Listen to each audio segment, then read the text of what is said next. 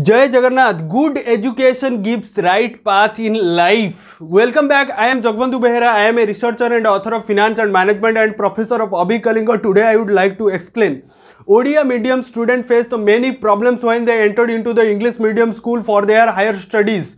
So what are the problems? Odia medium education system and English medium education system which is best for our student. Why this education is important for our student? Every Odisha student should learn English at class 1 to class 10 because when they completed to BSE 10th exam, every Odia medium student faced the many problems when they entered into the commerce and science and technology colleges. They faced the many problems because use they had learned only Odia and minor English last 10 years. Studies when they faced at that time English medium subject in this background, this situation is very hard for them.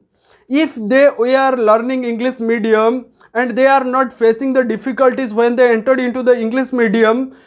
English medium student are smarter than Odia medium student. Every parents wanted their child get the proper education but they have no money to money to pay these fees of the schools. Government of Odisha solve this problem.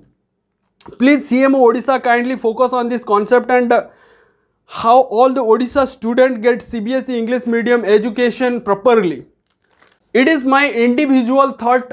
Please comment on the comment box what uh, what is your opinion. Thank you so much for watching this video. If you like this video please share and subscribe. Thank you so much for watching this video